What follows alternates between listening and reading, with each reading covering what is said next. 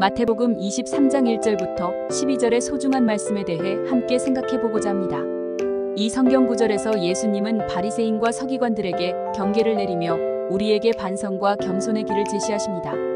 그분은 교리적으로 옳은 행동은 중요하지만 마음의 순수함과 겸손한 자세가 더 중요하다고 가르쳐 주셨습니다.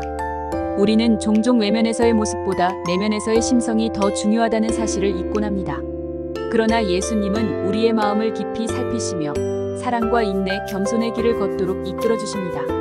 이 말씀을 통해 우리는 서로를 더 깊이 이해하고 상황에 따라 적절한 사랑과 배려를 베풀며 살아갈 수 있습니다. 겸손한 마음으로 서로를 받아들이고 우리의 약점을 인정하며 성장해 나가는 것이 예수님의 가르침에 따르는 길입니다.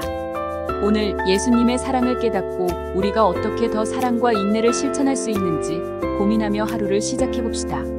그리하여 우리의 일상이 하나님의 영광을 반영하며 예수님의 사랑으로 가득 찬 소중한 하루가 되기를 기도합니다.